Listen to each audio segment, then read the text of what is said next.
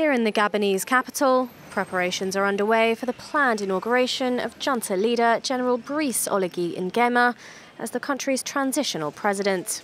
And these Libreville residents say they feel both calm and safe ahead of the change. We thought it was going to be like in 2009 and 2016, when there were deaths and bloodshed in our country.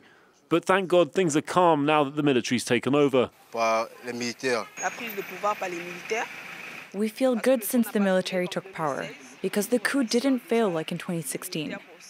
We already thank the military for that, and hope that after all these benefits are given to us, the military will hand over power to civilians.